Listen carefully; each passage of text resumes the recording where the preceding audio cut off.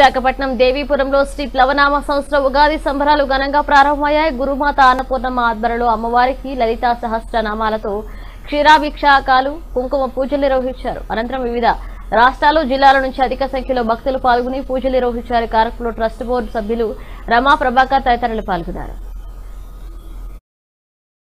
స్వాగతిస్తూ లలిత అంబికా నవరాత్రులు అనేవి జరుపుతున్నారనే విషయం. దాని డీటెయిల్స్ అవి ఇప్పుడు ట్రస్ట్ సభ్యులు ఆ, శ్రీమతి కందర్ ప్రమా గారిని అడిగి తెలుసుకుందాం. నమస్కారం.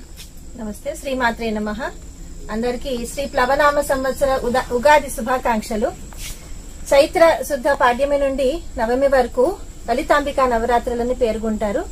ఎక్కువగా లలిత అమ్మవారి సాధన చేసుకునే వారికి ఇది చాలా విశేషమైన నవరాత్రి.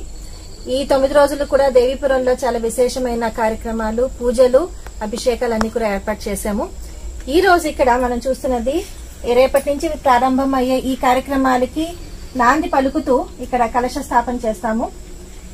మొట్టమొదటిగా అక్కడ గణపతి ఇక్కడ సహస్రాక్షి రాజరాజేశ్వరి దేవి అమ్మవారు లలిత అమ్మవారు తర్వాత ఆవిడకి అంగ ఉపాంగ ప్రత్యంగ దేవతలని కూడా ఇక్కడ స్థాపించి ఆ తర్వాత రేపు ఉదయం నుండి కూడా ముందర గోపూజ గావించి గోపూజ అయిన తర్వాత శ్రీయంత్ర మహామేరు ప్రపంచంలోనే అతిపెద్ద అయిన శ్రీయంత్ర మహామేరులోని ఫస్ట్ ఫ్లోర్లోని అమ్మవారికి క్షీరాభిషేకము తర్వాత అష్టోత్తర శతనామావళితో కుంకుమార్చన భక్తులు చేసుకోవచ్చును. అదేవిధంగా ఇక్కడ లలిత హోమం రోజు కూడా ఇక్కడ లలిత హోమం జరుగుతుంది. సాయంత్రము నాలుగున్నర నుండి ఇక్కడ లలిత సహస్రనామావళితోటి పారాయణ అర్చన కూడా జరుగుతుంది. ఇది ఇక్కడ జరిగే కార్యక్రమాలు నిత్యము. సాయంత్రము సంధ్యాహారత అవుతుంది. ఎవరైతే భక్తులు లలితా సహస్రనామం పారాయణ చేసుకోదలిచిన వారు ఖచ్చితంగా ఈ టైంలోని ఇక్కడికి వచ్చి ఇక్కడ లలితా సహస్రనామావళి పారాయణ చేస్తే ఇంకా మంచిది. నామావళి పారాయణ చేసుకోవడానికి అనువైన సాధనశాల కూడా ఉన్నది ఇక్కడ. చక్కగా వచ్చి అందరూ ఈ టైంలోని ఇక్కడ ఈ సహస్రనామావళి త్రిశతి తర్వాత ఖడ్గమాల స్తోత్రాలు ఇవన్నీ కూడా పారాయణ చేసుకోండి.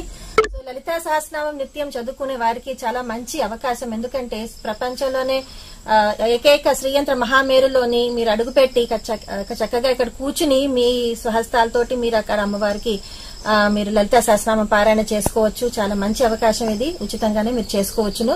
ఈ రోజు ఇక్కడ మనం మండపారాధన చేయబోతున్నాము. ఇక్కడ మీరు చూస్తున్నారు ఇక్కడ వివిధ ద్రవ్యాలన్నీ అన్ని సుగంధ ద్రవ్యాలతో కూడిన జలం అంతా ఏర్పాటు చేసుకున్నాము. తర్వాత కలశాలు ఐదు కలశాలు ఆ, కొబ్బరికాయలు పువ్వులు తర్వాత సుగంధ ద్రవ్యాలు అన్ని కూడా ఇక్కడ ఏర్పాటు చేసుకున్నాము. ఇప్పుడు మండప స్థాపన చేసిన తర్వాత రేపు ఉదయం నుండి కూడా తొమ్మిది రోజుల పాటు ఇక్కడ ఈ అమ్మవారికి అమ్మవారి ఉత్సవమూర్తికి క్షీరాభిషేకము తర్వాత కుంకుమ పూజలు అదేవిధంగా హోమము సాయంత్రము లలితా సహస్రామావళితోటి అర్చన ఆ తర్వాత సంధ్యాహారతి. ఈ కార్యక్రమాలు అన్ని జరుగుతాయి కాబట్టి అందరూ కూడా వచ్చి అమ్మవారికి సంగీత సేవ నృత్య సేవ కూడా మీరు అర్పించుకోవచ్చును. ఖచ్చితంగా అందరూ కూడా వచ్చి దేవీపురానికి ఈ సద సదవకాశాన్ని ఉపయోగించుకుంటూ రావాలని చెప్పేసి మా కోరిక. ఈ-